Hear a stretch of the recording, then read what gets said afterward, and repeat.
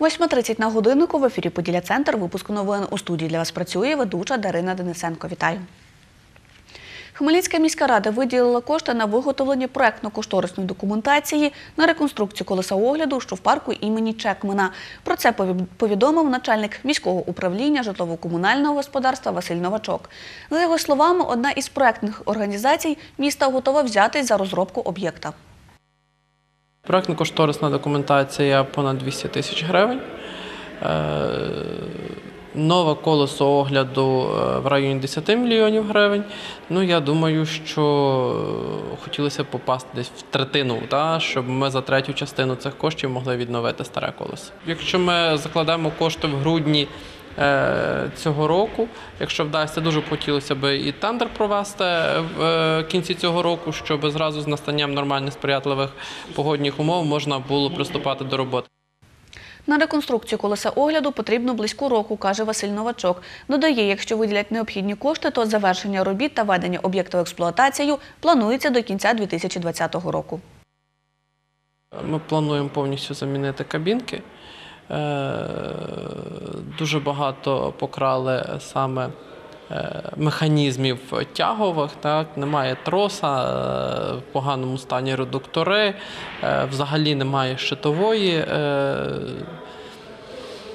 Його повністю треба пофарбувати. Ну і плануємо також зробити підсвітку ілюмінацію.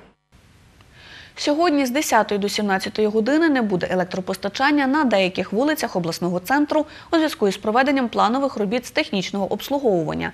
Про це повідомив начальник контакт-центру Хмельницькобленерго Іван Глапчастий. За його словами, електропостачання не буде на вулицях Гуцалюка, Чайкіної, Космодем'янської, Житецького, Житецького, Громової, Кам'янецькій та провулку Кам'янецький. За ніч повідомляє чергова акушерка приймального відділення Хмельницького перинатального центру Тетяна Плейзор. Народилося вісім дітей. З них п'ять хлопчиків та три дівчинки. Найбільша вага новонародженого 3 кг 700 грам, найменша 2 кг 950 грам. До 12 травня у галереї квартира Хмельницького обласного художнього музею діятиме виставка «Made in Ukraine. Мистецтво батика. Повідомляє науковий співробітник музею Людмила Сковерко. В експозиції роботи 10 художників України, в тому числі й місцевих. Роботи виконані в техніці холодний та гарячий батик.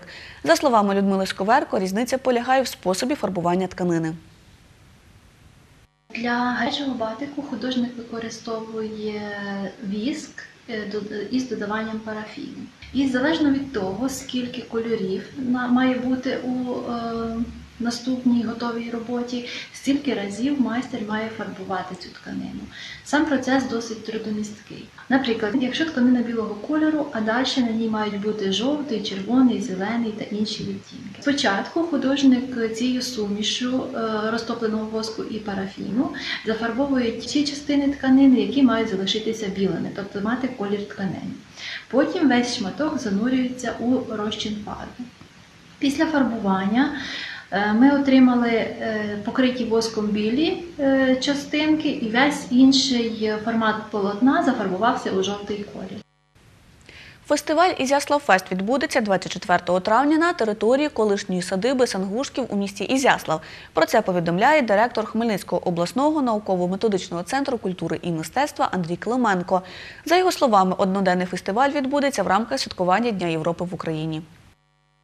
Це напевно, і традиційний формат. Тобто ми будемо на стаціонарній сцені, яка є в Ізяславі на території палацу Самогушків. Ми ставимо гарне світло, гарний звук. Ми робимо концерт гурту Моторола з козаками Поділля. Е, Перед цим будуть виступати якісь місцеві гуртки, можливо, молодці виконавці. Другі локації в костелі Святого Йосипа ми ще робимо для пооцінювачів, скажімо, духу духовної музики. Ми робимо концерт органної музики. Їде заслужена артистка України Наталя Молдаван, їде камерний оркестр Хмельницької обласної філармонії. Під час концерту на повітрі відкритій площадці буде різноманітне частування українськими стравами, куліш, швик і тому тому подібне.